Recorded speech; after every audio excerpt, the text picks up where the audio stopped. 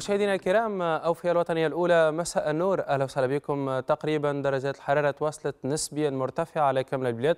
القصوى اللي سجلناها كانت من بين 23 ل 28 درجة بالشمال وبالمناطق الساحلية. اليوم بتونس العاصمة سجلنا 25 كانت من بين 30 إلى 36 ببقية الجهات ووصلت محليا إلى 38 بالجنوب من الناحية الحركية. رياح كانت قوية بالمناطق الساحلية ورطوبة عالية ميزت الأجواء كما لاحظوا من خلال تسلسل لسوى القمر الاصطناعي. طقس اليوم كان مغيم جزئيا بأغلب المناطق. الليلة يتواصل ظهور السحب المرتفعة بأغلب الجهات واللي تكون أكثر كثافة بالجنوب مع نزول أمطار محلية. رياح تبقى قوية قرب السواحل وبالجنوب مثيرة للرمال والأتربة. ودرجة حرارة ليله تكون من بين 18 ل 22 درجة بالشمال وبالوسط. ومن بين 22 ل 26 بالجنوب. يوم الغد إن شاء الله تتوصل درجة حرارة تقريبا في نفس النسق يبقى الوضع الجوي ملائم لنزول بعض الأمطار بمناطق الجنوب ولتشمل تدريجيا الشمال والوسط بعد الظهر. حرارة القصوى المنتظرة اليوم الغد تصل إلى مستويات 28 درجة بتونس العاصمة 27 بزغوان وبنابل أقل ببنزرت وبباجة تقريبا في مستويات 25 درجة. نتوقع بجندوبة 26 32 بسليانة 38 28 درجة عفوا بالكاف بمناطق الوسط.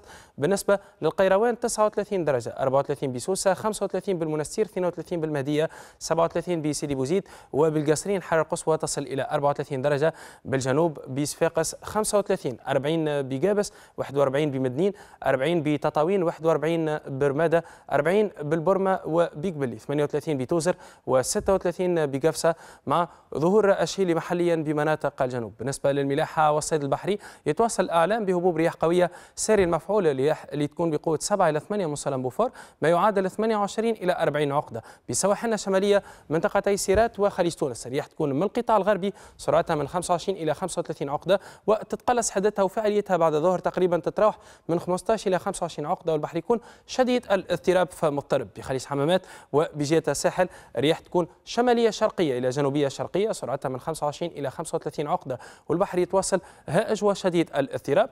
بمنطقتي الشابة وجربة وصولا إلى جرجيس الرياح تكون جنوبية غربية إلى جنوبية شرقية. سرعتها من 15 إلى 25 عقدة وتتقوى فعاليتها بعد الظهر تقريبا تتراوح من 25 إلى 30 عقدة وتتجه لتكون شمالية شرقية. البحر يكون مضطرب إلى شديد الاضطراب. كالعادة ناخذ فكرة حول الوضع الجوي ببعض المدن والعواصم العربية والأوروبية. بنواكشوط سماء صافية والحرارة تقريبا تصل إلى 31 درجة. أمتار بالدار البيضاء وبرباط 19 22 بالجزائر. سحب عبرة بطرابلس والحرارة تصل إلى 33 درجة.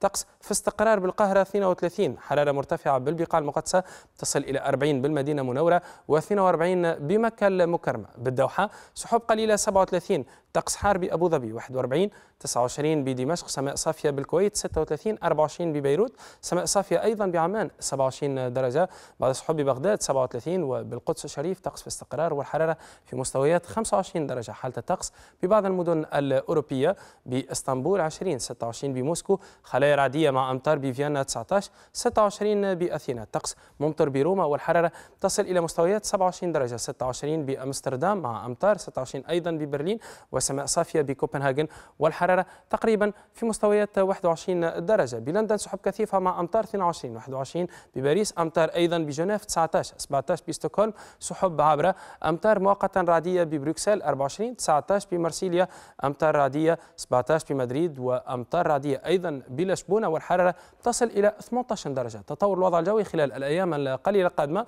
يوم الخميس الرياح تكون من القطاع الغربي على كامل البلاد قوية نسبيا قرب السواحل وضعيفة إلى معتدلة داخل البلاد؟ تقريبا درجة حرارة قصوى تتراوح من 23 إلى 27 درجة بالشمال وبالمرتفعات تكون من بين 28 إلى 32 ببقية الجهات وتصل محليا إلى 36 بالجنوب. طقس يكون أحيانا كثيف السحب بأغلب المناطق مع نزول بقايا أمطار بالمناطق الساحلية في الصباح. بالنسبة ليوم الجمعة الرياح تكون من القطاع الغربي بالشمال شرقية بالوسط وبالجنوب. تتواصل قوية نسبيا قرب السواحل وضعيفة إلى معتدلة داخل البلاد. درجة حرارة ممكن تعرف انخفاض طفيف ويتواصل ظهور سحب عابرة على كامل البلاد واللي تكون أكثر كثافة بالشمال وبالوسط. مع نزول بعض الأمطار والبحر يكون مضطرب بكافة مجالاتنا البحرية. أوقات الشروق والغروب اليوم الغد شروق الشمس بإذن الله يكون في الساعة الخامسة و14 دقيقة وغروبه في الساعة السابعة و17 دقيقة. لمزيد من المعلومات والإرشادات الموقع الخاص بالمعهد الوطني للرصد الجوي www.meteo.1 تبعثوا رسالة قصيرة ولا تتصلوا برقم الموزع الصوتي 88 40 40 شكرا على حسن المتابعة والاهتمام وإلى اللقاء.